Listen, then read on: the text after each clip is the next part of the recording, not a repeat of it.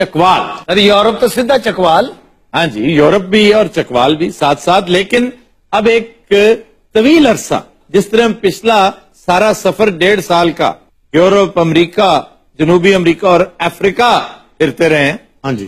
اب ہم ان شاء اللہ تعالی پاکستان کے تقریباً تمام اضلاع مکمل کریں گے۔ اور مجھے بڑی خوشی ہے کہ میں نے اس سفر کا نقطۂ آغاز بھی اپنے موسٹ فیوریٹ ڈسٹرکٹ کو بنایا۔ اس کو 1985 میں ضلع کی حیثیت دی گئی اور سرحدیں اس کی پانچ اضلاع سے ملتی ہیں اٹک پنڈی جہلم خوشاب اور میاں والی اچھا لگتا ہے ویگن لے کے چل رہے ہو۔ یہ پہلے ڈسٹرکٹ جیلم میں تھا اس کے اندر جیلم کا کچھ حصہ ڈالا گیا اٹک کا بھی کچھ حصہ اس میں ایڈ کیا گیا۔ اور میں آپ کو اس ترتیب سے لے کے جا رہا تھا۔ اس کی پانچ تحصیلیں ہیں۔ سب سے حسین تحصیل ہے کلر کہار۔ کیا بات۔ ہے کلر کہار تخت بابری کی وجہ سے مشہور ہے۔ بابر جب کابل سے دلی جا رہا تھا تو یہاں اس نے قیام کیا اور تخت بابری دیکھنے لوگ دور دور سے اب بھی آتے اس کے حسن و جمال کو دیکھتے اب تو وہ حسن رہا ہی نہیں۔ ہماری جملہ نااہلیوں کی بھینٹ چڑھ گیا ہے۔ یہ پٹھوہار کا علاقہ ہے۔ کلر کہار اس کا حسن و جمال ہے۔ اور اس کے بارے میں بڑا خوبصورت فکرہ شیر شاہ سوری کا، وہ آج بھی وہاں پہ درج ہے۔ اس نے کہا ای بچہ ہے کشمیر اس کہ مجھے تو یہ کشمیر کا بچہ نظر آتا جی پھر ہے جناب چکوال وہ بھی تحصیل ڈسٹرکٹ کا نام بھی یہی ہے۔ ایک اہم بات اس ڈسٹرکٹ کے حوالے سے کہ ساؤتھ ایشیا کا سب سے پرانا ڈائناسور کا ڈھانچہ یہیں سے برامد ہوا تھا۔ آپ اسلام آباد میں اگر جائیں تو وہ آج بھی پریزروڈ ہے۔ اور جس جنگل سے یہ دریافت ہوا اس کا نام ہے بن امیر خاتون۔ پھر چوہا سیدن شاہ۔ ارے اس کو چوہا سیدن شاہ کہتے ہیں۔ چوہا غلط کہتے ہیں نا چوہا ہے۔ چوہا۔ چوہا مینس چشمہ۔ بڑا لاجواب چشمہ ہے وہ۔ اور یہ سخی سیدن شاہ کے نام سے ان بزرگوں کے نام پہ اس شہر کی بنیاد رکھی گئی۔ اب یہ تحصیل بھی ہے۔ اس کی دو وجوہات شہرت ہیں۔ ایک ہے کٹاس راج۔ بہت زبردست ریمینز ہیں۔ ایک انتہائی قدیم مندر کے۔ یہ شیوا کا مندر ہے۔ اور اس کے بارے میں ایک روایت تو یہ کہ ساڑھے چار ہزار سال پرانا ہے۔ کچھ لوگ کہتے ہیں کہ یہ قدیم ہے یعنی اینٹیکوٹی ہے۔ لوگوں کو پتہ ہی نہیں کہ یہ کتنا پرانا ہے۔ مہا بھارت میں اس کا تذکرہ ہے۔ شیوراج کے نام سے۔ پھر جو اس وقت جو سہن اور جو پریمسز نظر آتے ہیں یہ ڈیڑھ ہزار سال پرانے ہیں۔ یہاں پر ایک مقام ہے سلونی۔ سونی سکندر یہاں تک آیا تھا۔ جب جیلم کی کیمپین پہ نکلا تو سلونی کو اس نے ٹچ کیا تھا۔ پھر ایک بہت لاجواب کلا ہے نندنا انتہائی خوفناک کلا وہ بھی یہیں پہ واقع ہے۔ سر چوہا سیدن شاہ کی دوسری چیز۔ دوسری چیز وہ ایسے ہمارے دوست ہیں راجا منور۔ انہوں نے کی پکی مشہور ہے جی۔ ہاں کی مشہور ہے انہوں کا میرے دوست میں اپنی بات کر رہا ہوں۔ اس گل مشہور نے۔ وہ بھٹو کے ایڈوائزر تھے حنیف رامے کی کیبنٹ میں تھے اور بڑے جہاندیدہ سیاستدان ہیں۔ پھر ہے جناب تلاگان۔ تیسری تحصیل ہے۔ یہ چوتھی تحصیل ہے۔ میں نے ایک کلر کہار گنائی۔ جی۔ ایک چکوال۔ تو۔ جو سیدن شاہ۔ تین۔ تلاگنگ۔ چلو میں معاف کر دے تمہاری بنیادی غلطی کاؤنٹنگ تک نہیں آتی تمہیں۔ تم کارپینٹری کیسے کرتے تھے؟ اس گل کا کوئی اس گل تعلق ہے۔ ار سوفے کی دنیا کا پہاڑا سنانا پہنا پتا تو ہونا چاہیے نا۔ ٹھیک ہے جی چوتھی ہے جی۔ اچھا جی تلاگنگ کی بات ہو رہی تھی۔ اتوں کی کہڑی شہ مشہور ہے جی؟ یہاں پر جو کاٹیج انڈسٹری ہے جوتوں کی وہ بڑی مشہور ہے۔ کوہاٹی چپل۔ ہاں جی۔ پھر تلے والا خصہ ڈھائی ڈھائی تین تین لاکھ کا خصہ ہے۔ تین لاکھ کا انجن والا خصا ہے۔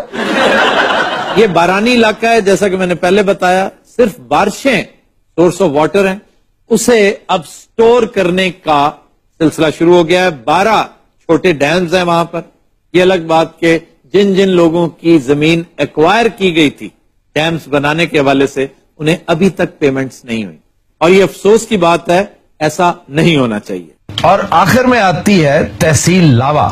لاوا کو تحصیل کا سٹیٹس ریسنٹلی ملا۔ یہاں پر مالٹے کی فصل بڑی شاندار ہوتی ہے۔ یہ تو پاکستان کہتے ہیں میں سمجھتا ہوں دنیا کا سب سے شیریں مالٹا۔ میں نے اس ڈسٹرکٹ میں کھایا انجیر یہاں پہ ہوتی ہے۔ لوکاٹ۔ ہائے ہائے۔ اس سے زیادہ لاجواب لوکاٹ ہو ہی نہیں سکتی کہیں اور۔ کلر کہار کی لوکاٹ۔ اور زیتون کی کاشت۔ یہاں پر شروع ہو گئی ہے۔ یہ بھی ہمارے ایک دوست نے انیشیٹو لیا۔ ہے تو یہ بہت پرانا بھٹو صاحب کے دور کا پروجیکٹ لیکن یہ افسروں پہ ڈیپینڈ کرتا ہے کون بازوق ہے کون ان چیزوں کو اہمیت دیتا ہے۔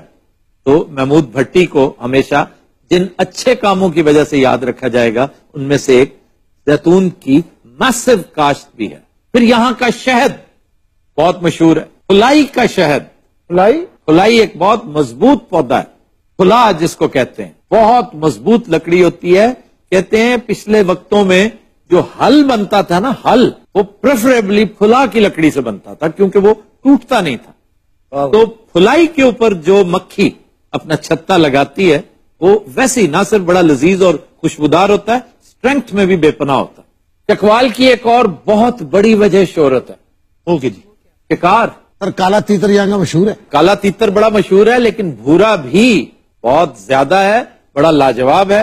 اور محکمہ وائلڈ لائف کی تمام تر نااہلی اور کرپشن کے باوجود ابھی تک موجود ہے۔ سر اور کون کون سے جانوروں میں ویسے یہاں پہ اڑیال بھی ہوتا ہے لیکن وہ جہلم میں زیادہ پایا جاتا اڑیال کیا چیز ہے؟ ہے اڑیال نیل گائے کی ایک قسم ہے۔ سر تنکس جانور کا گوشت سب تو اچھا لگتا ہے۔ شکار میں؟ جی۔ ہاں جی پرندوں میں تو یہ جو بھورا تیتر ہے اس جیسا گوشت اور بٹیر بھی آف کورس یہ دونوں بہت شاندار ہیں۔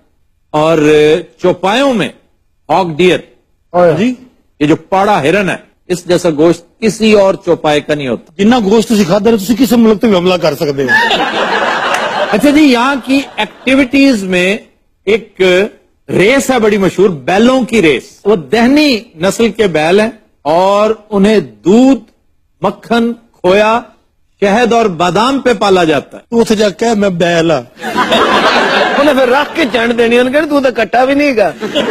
ہاں تو اے ان کے کہ میں باندھ دینا جی ساڑی ریس کراؤ تو پھر گل بنے۔ ان بیلوں کی مالش بڑی باقاعدگی سے کرنی پڑتی ہے۔ اچھا جناب یہاں کے مشہور توحفوں میں ایک ہے ریوڑی جسے پہلوان کی ریوڑی کہتے ہیں۔ میں ادو سوچ رہا کہ پلوان دکان تھے نہیں چٹ کے۔ نہیں نہیں نہیں۔ وہ ہے ضرور لیکن اس کے ساتھ ہاتھ پتہ کیا ہوا ہے؟ جی جس طرح ملتان کے سون حلوے کے ساتھ خوشاب کے ڈوڈے کے ساتھ راہ والی کی کلفی کے ساتھ یعنی ہر ایک نے وہاں پر پہلوان ریوڑی کے نام سے وہ سلسلہ شروع کر دیا۔ یہ دیسی گھی کی ایک ریسیپی تھی۔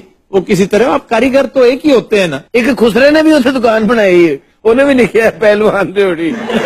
ضلع چکوال کے بارے میں ایک دلچسپ کہاوت یہ ہے کہ یہاں پر ہر دوسرا شخص فوجی اور تیسرا شاعر ہوتا ہے۔ واہ جی واہ اچھا جناب یہاں کی مشہور شخصیات تو لاتعداد ہیں۔ ہم جو سٹینڈرڈ مینٹین کریں گے وہ مشاہیر کا ایسا کہ جو بین الاقوامی طور پہ مشہور ہوئے ہوں۔ تو سر فہرست میں سمجھتا ہوں منموہن سنگھ۔ انڈیا جی، انڈیا۔ وہ یہ تھے جمع سی یہ ان کا جمپل ہے بڑی محبت سے تذکرہ کرتے ہیں وہ چکوال کا۔ پھر چکوال کی دوسری انتہائی عام شخصیت ایاز امیر۔ بڑا کمال کا کالم نگار اور صحافی۔ پھر دیکھا جائے تو جنرل یحییٰ خان بھی یہیں پیدا ہوئے تھے۔ پھر ایک اور مشہور ثقافتی شخصیت جس کے بچپن کے بارے میں کہتے ہیں کہ وہ چکوال کی گلیوں میں گزرا وہ ہے مدن موہن۔ گزشتہ ملینیم کا شاید سب سے بڑا میوزیشن اچھا جی اب آئیے خوابوں کی طرف۔ سمجھو تو کھابے ہوندے ہی نہیں۔ سب سے پہلے تو ہے جی دمبا کڑاہی۔ سننے بھوک لگ گئی ہے۔ ٹمبے نو۔ یہ اس کی چربی میں بنتی ہے۔ اس میں گھی نہیں ڈلتا۔ صرف ٹماٹر۔ یعنی کہ سارا پار دومبے تو پایا ہے۔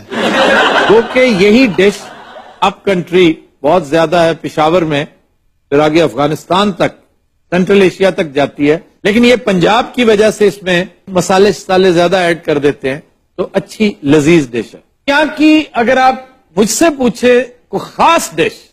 جو نیکسٹ ٹو نن ہے وہ ہے توا مچھلی. توا مچھلی آپ نے قصور کی بھی کھائی ہوگی. نہیں دیکھیے سر کھائی نہیں. یہ بہت ہی شاندار مچھلی ہوتی ہے. اس کو لیمو کے ساتھ میرینیٹ کرتے ہیں. لیمو کے رس میں کافی دیر رکھنا پڑتا ہے. کالی مرچ نمک اور لہسن کا پیسٹ کر کے آپ توے کے اوپر اس کو فرائی کرتے ہیں. نہایت شاندار. بس یوں سمجھ لیجیے کہ آپ کو پنجاب میں بیٹھے ہوئے ٹراؤٹ کا فریش ٹراؤٹ کا مزہ ملے گا۔ سر میرا ایک کوشچن ہے۔ جی۔ وہ بیل اتنی خوراک کیوں کھاتے ہیں؟ بھائی تم خوراک کی بات کر رہے ہو۔ اگر تم بیل پالو نا وہ تمہیں ڈیلی اس کی مالش کرنی پڑے گی۔ سر بیل میرا بہنوئی ہے۔